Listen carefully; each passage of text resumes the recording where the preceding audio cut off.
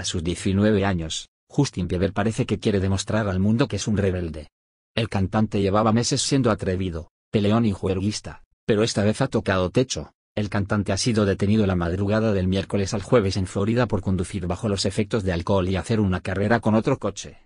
Bieber fue detenido en torno a las 4 de la madrugada tras salir de un club nocturno y actualmente se encuentra detenido en la comisaría de Miami Beach a la espera de un interrogatorio, ya que, además, parece que el joven artista no tenía vigente el carné de conducir. Varios vecinos alertaron a la policía de que un Lamborghini amarillo alquilado y conducido por Bieber estaba compitiendo contra un coche rojo de la misma gama.